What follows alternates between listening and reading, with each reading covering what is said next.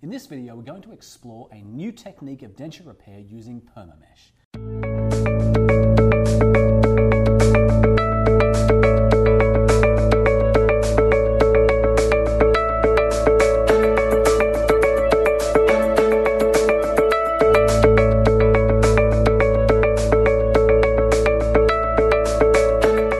Chris, you're doing something new here.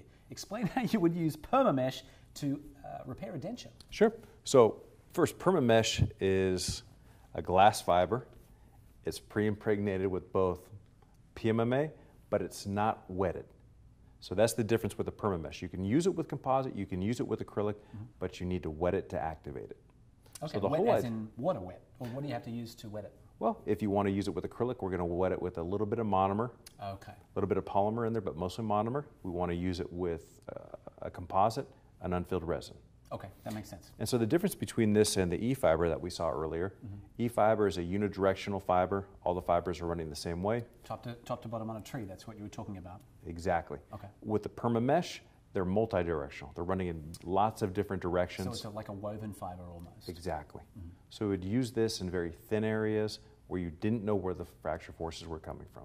Okay, So the example we're taking a look at today is you can see that a fracture has started to propagate both on the facial and the lingual surface of the denture. so you don't necessarily have to rebuild that thing from scratch, you can actually repair it. So what we're going to try and do is use the PermaMesh to stop that fracture from propagating any further. Okay, So the first thing we do is we're going to cut up a couple small pieces of the mesh. And then what I'm going to do is I have a little bit of uh, a mixture here of monomer and polymer. And I'm wetting these pieces on a nice clean surface. This just happens to be a bag. And I'm just going to paint. so this is all you need to do to wet this. You just dab it with a little bit of the, a little bit of monomer there. And you'll see when I pick up a little bit of polymer here, just kind of sprinkle a little bit on, how the mesh has gone from white to translucent. yeah, So next thing I'm going to do is I'm just going to take the area we're going to reinforce. Just going to scuff up a little bit of the acrylic. right, so that's just giving it a little bit more sort of friction. Exactly. I'm going to paint a little bit of monomer here to get it chemically ready. And then I can go ahead and pick up pieces of mesh.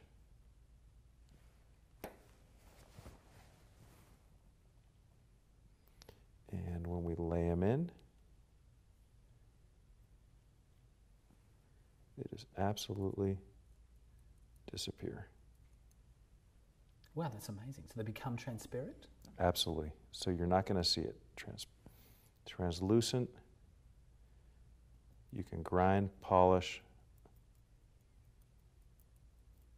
At this point, we'll go ahead and finish the curing by putting it in a pressure pot, and we're good to go.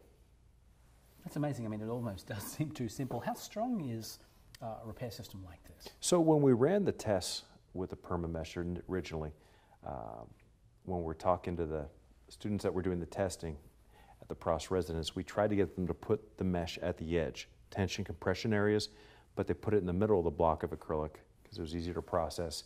And even then, they found it was 100 times stronger than unreinforced acrylic.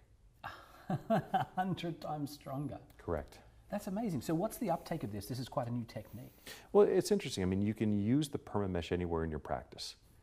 I use it. I recommend using it for provisional crowns.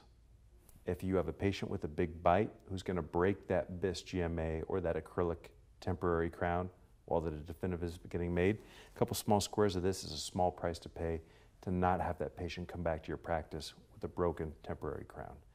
Bridges, dentures, you name it.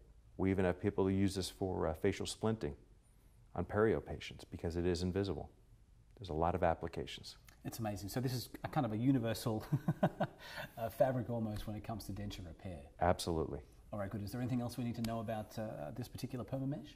No, I, I think that's it. All right, terrific. Well, if you'd like to find out more, please head over to our website at preat.com, uh, where you can get in touch with our technical staff or customer support via phone or our live chat feature or email or our contact form. Of course, there's loads of information there. There are case presentations, all sorts of knowledge and information. And of course, you can order everything that you've seen in this sequence of videos. Thanks very much, Chris, for your time. I appreciate Thank it. Tim. And I hope we see you all over at Preat.com.